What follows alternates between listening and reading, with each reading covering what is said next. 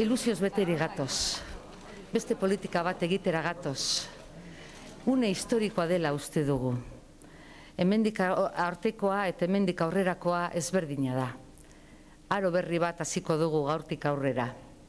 Inoiz ez da egon legebiltzar honetan orain bezain besteko ordezkaritzarik indar eskertiarren eta zubiranisten aldetik. Eta esan nahi duguna da, orain arte esan dugun hori orain gatozela egitera. Ez gatoz egon utz bater bat egitera. Egin egitera gatoz. Eta gobernatzen egongo bagina bezala egingo dugu politika hemen. Politika maiuskulaz eta ez minuskulaz. Hautezkundetan emaitza honak eman dizkigute. Konfiantza ipini dute gugan herritarrek.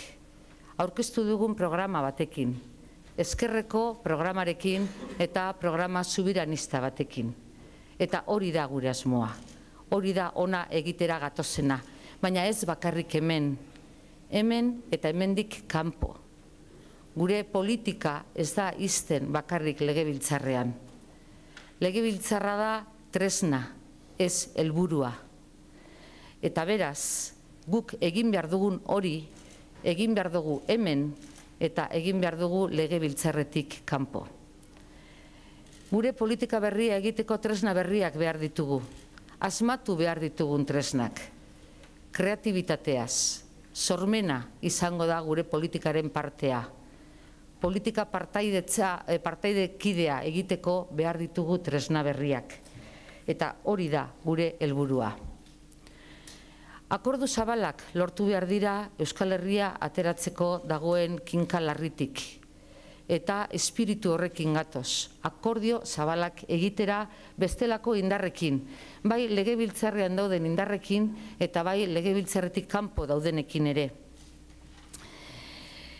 Gure konpromisua da eredu berri bat egitea ez bakarri politikan, baizik eta politika gintzan eta horregatik sinatu dugu konpromiso etiko bat. Sinatu berri duguna da esatea gure zintzotasuna, gure naia, gure prestakuntza, gure formazioa, gure egitea ipiniko dugula politika garbi zuzen zintzo baten alde. Eta hori da sinatu berri duguna eta hori izango da gure politika gintza markatuko duen norabidea.